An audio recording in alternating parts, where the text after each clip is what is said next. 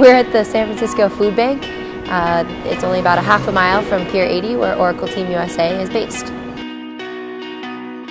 So today we were clean, taking the bad apples out of batches of apples that were given by supermarkets that don't use them anymore. And then from there we are packing them into smaller boxes and those will then be redistributed to schools, churches, synagogues, and other community places that will be hosting people, especially right around now for the holidays.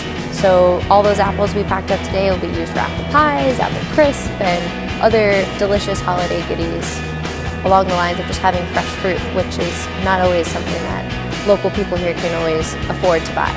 There isn't anybody on staff that does this the food bank can't do what it does without volunteers, and this is what runs. These are the gears of the uh, the organization, and without volunteers, um, we can't do what we got to do, which is feed people.